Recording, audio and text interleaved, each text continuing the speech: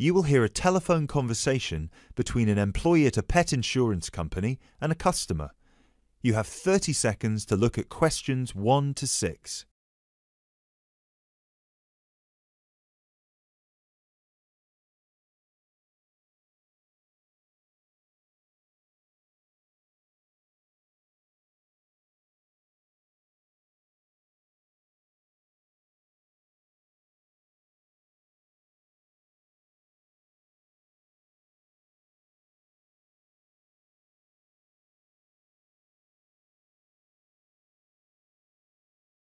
Pet Protect UK, how can I help? Oh, hello there. I'm calling to inquire about your pet insurance plans. Of course, just give me a second, please. Sure. So, have you checked our website already to see the options we offer? I've had a quick glance, and I think I'm interested in the basic plan. Great. I need to just ask a few questions first then. Is your pet a dog, a cat, or a rabbit? It's a dog. And is it a puppy or. No, he's three years old. Right. May I ask, has your dog been insured before? I just adopted him from the rescue center last week, and I think he'd been there a while, so I doubt it. Okay, so you've had him for a week then. That's correct. Great. I apologise for asking this, but your dog, what's his name by the way? Fenton. Fenton, is that spelt with an F? Yeah. F E N T O N. Great. Thank you for that. So, according to the rescue centre, has Fenton ever attacked, bitten, or been aggressive towards a person or another animal? No, not at all. Excellent. And is he a guide dog or. No, just a house pet. Great. And you said he's three years old. Do you know the exact date of birth? Oh, yes, it's on the adoption certificate. Just give me a sec.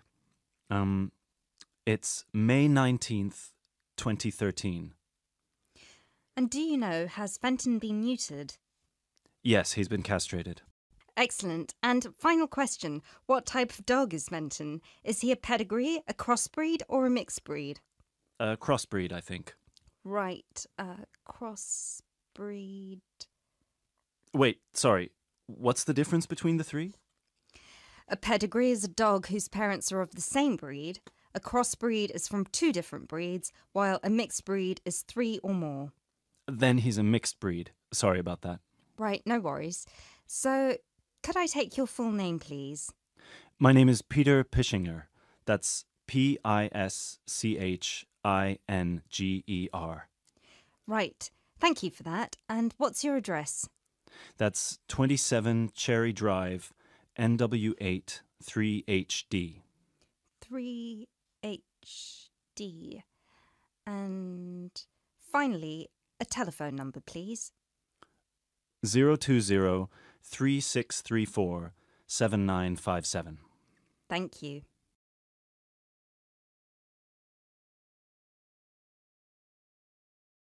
You now have 30 seconds to look at questions 7 to 10.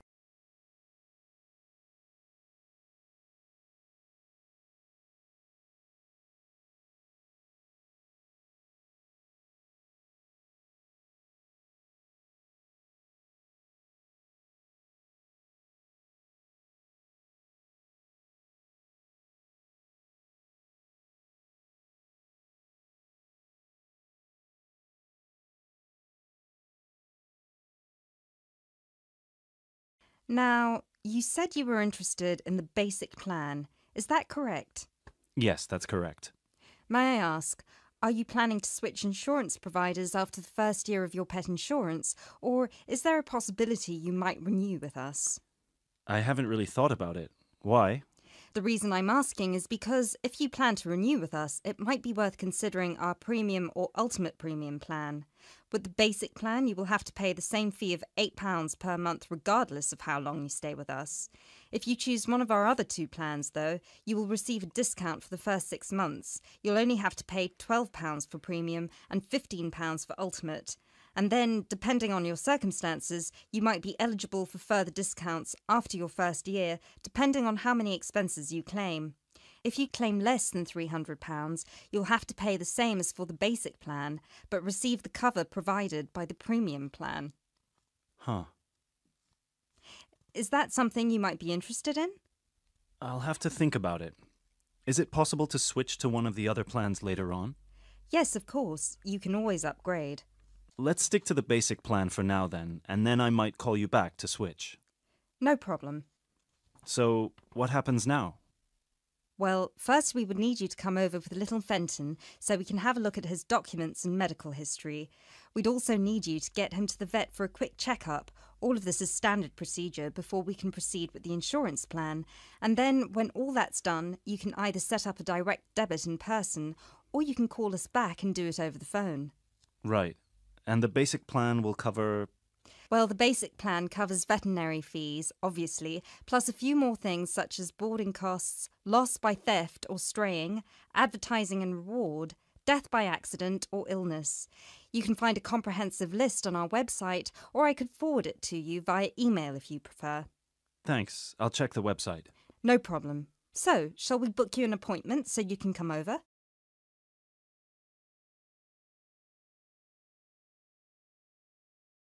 That is the end of part one. You now have half a minute to check your answers.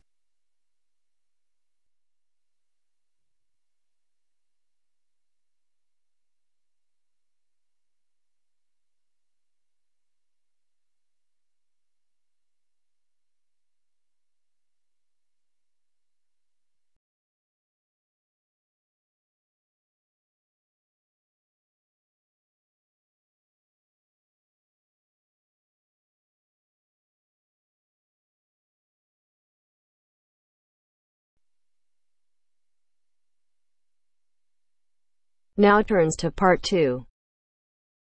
Part 2 First, you have some time to look at questions 11 to 17.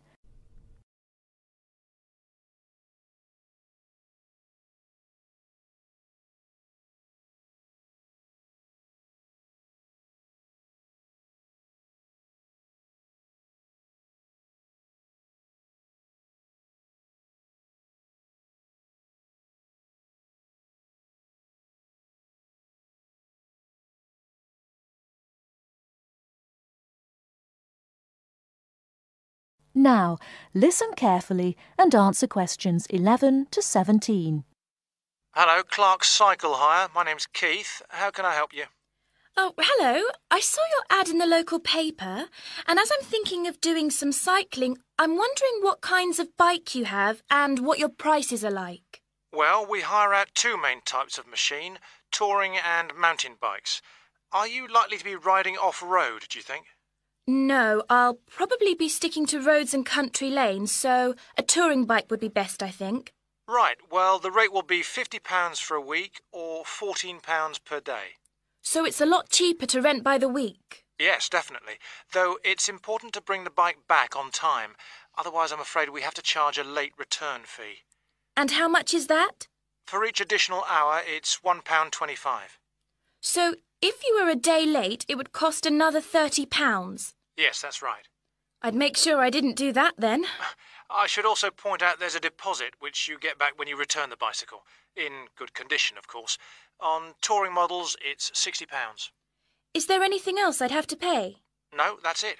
Though if you're planning to ride fairly long distances, you might like to have one or two accessories. Such as? Well, for another five pounds, we can supply lightweight bags, either panniers or the handlebar sort.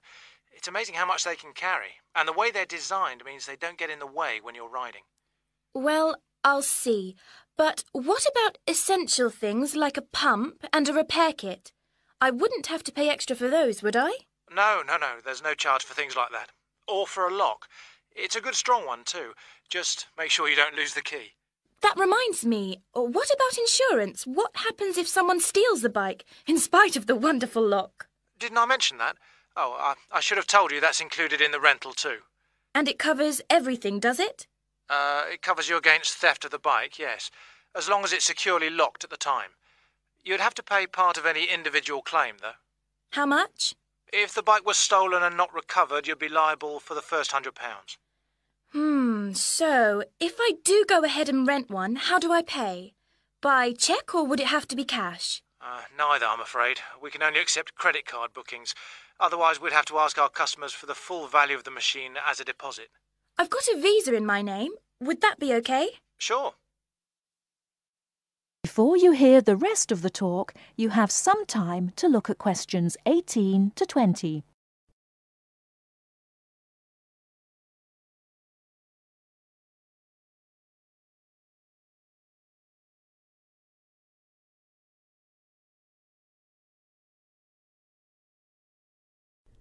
Now listen and answer questions 18 to 20.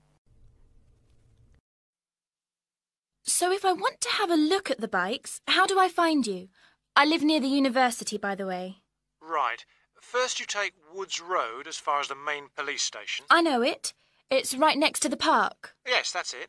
And after the police station, there's a turning to the right called Oak Street. At the big supermarket. Uh, no, it's before then. It's actually between the police station and a garage on the other side. Okay. So, you go down Oak Street until you reach the health centre on the right. If you get to a pub called the Maple Leaf, you've gone too far. All right? Yes, I've got that. Now, opposite the health centre, there's a pharmacy, and we're just behind that. Okay, fine. I'll try to call over sometime tomorrow. Great. See you then. Bye. That is the end of part two. You now have half a minute to check your answers.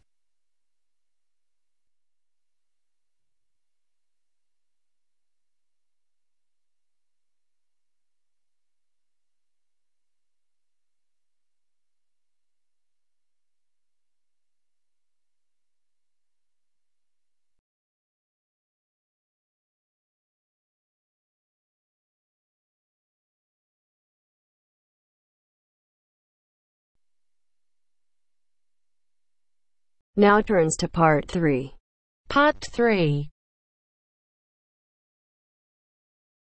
You will hear a conversation between three students who are preparing a presentation. First, you have some time to look at questions 21 to 25.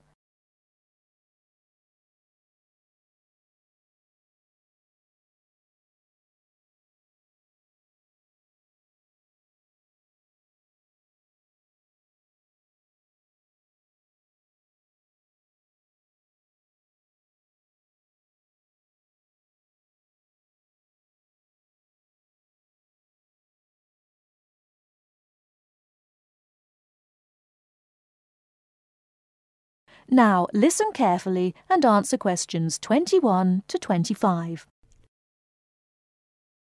Hey guys. Oh, hey, Gail. You made it. Yeah, sorry. I was stuck at the library paying late fees. Have you guys started going through the data yet? Yeah, we've already collated it and we've started designing the graphs we're going to use in the presentation. Oh, really? That's fast. Well, anyway, here's what we've got so far. Okay, so. Wow.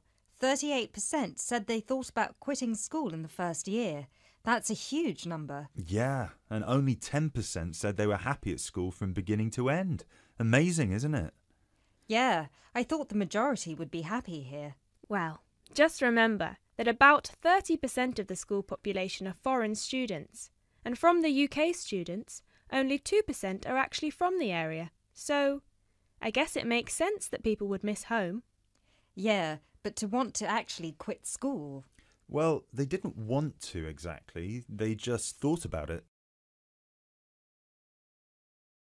Okay, so how should we organise the presentation? What did you guys decide? Well, Kevin and I were saying that we should start by explaining what the topic of our research was and how we decided to collect the data.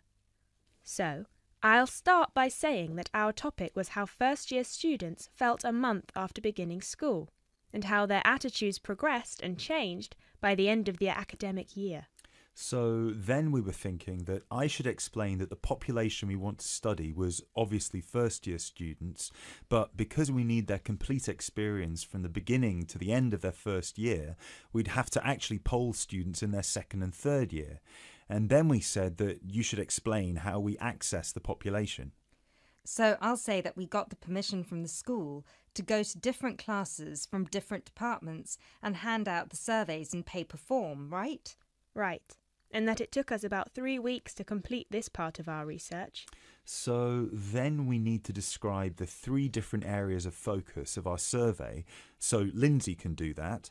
Uh, say that the survey had three sections. The first one asking just some general questions about the age, gender, nationality, and field of study of each student. Then the second one focused on how they felt in their first six months at school. And the third, how they felt in the summer after their first year was complete. That sounds good.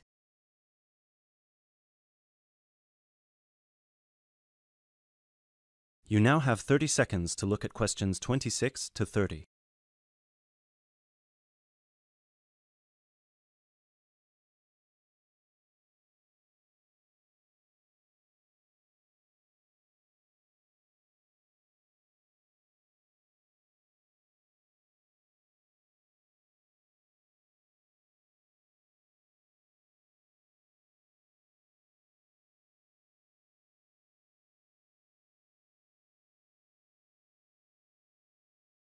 Okay, so let me see the breakdown.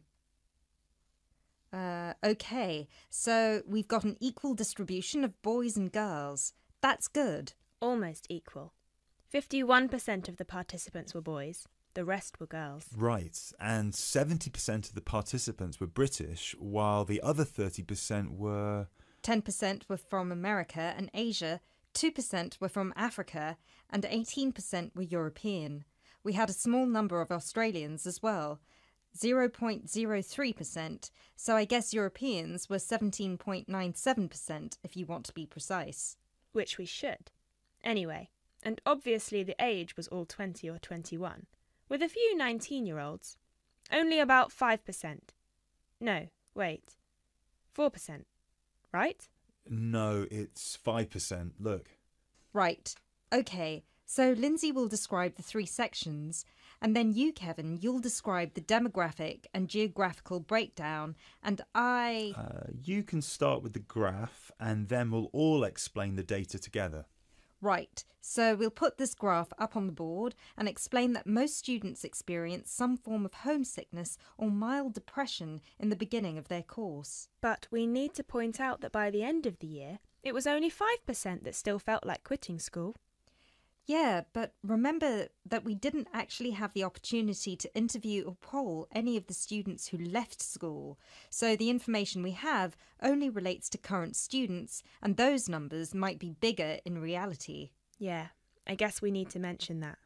But we did check the dropout rate for the last two years, and it was very low, so at the end of the day, the numbers can't be much bigger.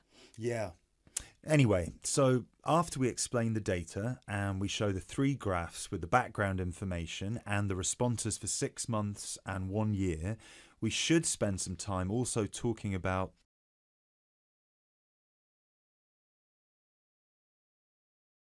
That is the end of part 3.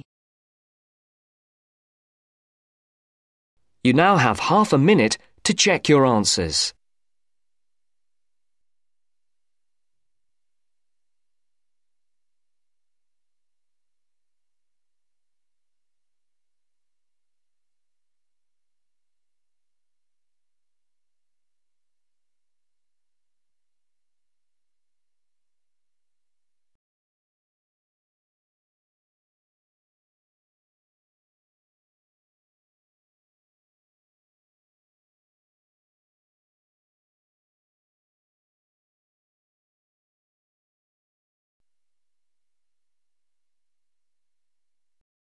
Now turns to part 4.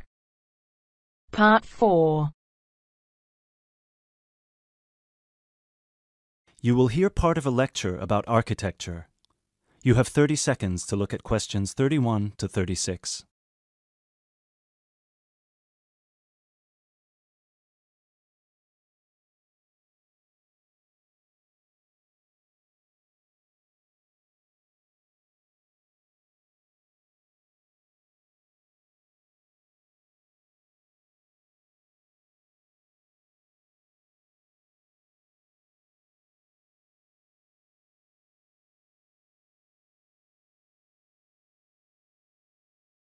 During today's seminar, we will be looking at English Gothic architecture and its origins with a specific case study of Wells Cathedral in England. The Gothic style was initially brought over to England from France. This was at a period of time in which England was ruled from France by the Normans, starting with William the Conqueror, who first defeated the English army at the Battle of Hastings on October 14th, 1066. After 1072, when some smaller rebellions in northern England had been defeated, the Normans gained complete control of the English monarchy, which they controlled until 1154. The peace that ensued in England had a large impact on many aspects of daily life. Thousands of French words entered the English language for the first time, such as beef, fruit, city, and hour. French ideas and styles, like Gothic, also began to flow across the Channel to England too, examples of which can still be seen in the architecture of many listed buildings. A listed building is one that is protected from alteration or demolition because of its historical or stylistic importance.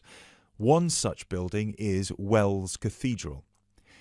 Construction on Wells Cathedral began in 1175 at a time when Gothic architecture as a style was in its infancy. As a result, it is one of the first entirely Gothic buildings ever constructed. From the first designs to the date it was completed in 1490, Gothic architecture flourished in England. Therefore, later additions to the building were still influenced by this Gothic style, rather than by later architectural styles such as Tudor architecture. Older cathedrals in England would have initially been influenced by Romanesque architecture, alternatively known as Norman architecture in England. As the former name suggests, Romanesque was a building style based on the skills passed on to various areas of Europe by the Romans. When the Western Roman Empire collapsed in the 5th century, these methods were retained by Rome's former colonies and developed further. One such Roman gift to the Romanesque architects was the round arch, also known as the true arch. The Romans perfected this style by using wedge-shaped stones called voussoirs, which created pressure that held the structure together at the top. Cathedrals in England, such as the ones in Ely and Canterbury, were started before the arrival of Gothic architecture. Even though parts of those two cathedrals, which were constructed later, are in the Gothic style, other sections predating the arrival of Gothic architecture are Romanesque. The result is known as eclectic because the building is constructed using more than one style. All of these cathedrals belong to a group known as the Medieval Cathedrals of England. There are 26 different buildings that belong to this group in total, all of which were constructed or added to during a 500 year period from 1040 to 1540.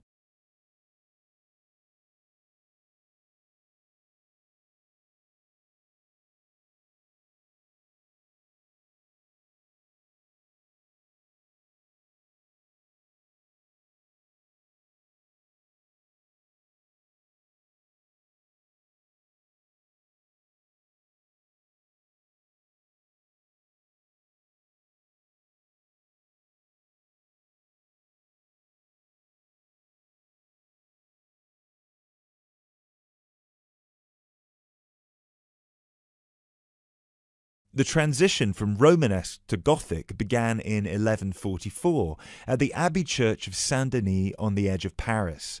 It was here that a Benedictine abbot by the name of Suger had just completed his plan to rebuild the Basilica of Saint Denis in a new style through which he believed the dull mind rises to truth through that which is material. This refers to one architectural feature in particular high rib vault ceilings, which created much more space inside the cathedral and were designed to draw the attention of people up towards heaven. This design feature also allowed whole walls of the cathedral to be transformed by colourful stained glass. Work started on Wells Cathedral soon afterwards, greatly inspired by Abbot Suger's work. Planned in the crucifix style with the head pointing east and foot pointing west, the cathedral is 126 metres long and the nave is 20 metres high. This is quite low compared to some of the bigger cathedrals elsewhere. Use of tracery, lancet windows, and mullions are all characteristic of English Gothic architecture. Whilst examples of all three of these architectural elements can be found at Wells, the lancet windows have no tracery at all, which was more common in early English Gothic architecture before advances were made in the use of mullions and tracery with glass. Lancet windows are tall, thin windows with a pointed arch at the top and are so named because they resemble the weapon often carried by a soldier called a lance.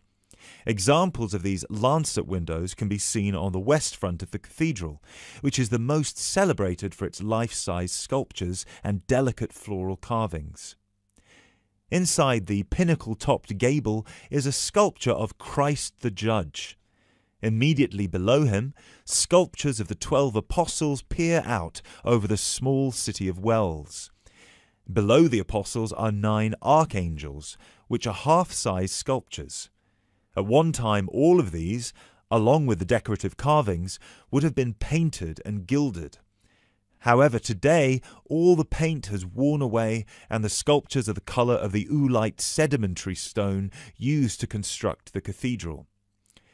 It is remarkable to think that more than 800 years ago, such magnificent buildings were created without the use of large cranes and modern technology.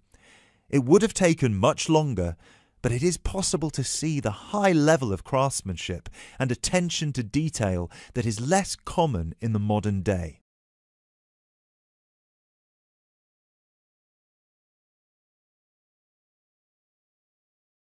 That is the end of part 4. You now have half a minute to check your answers.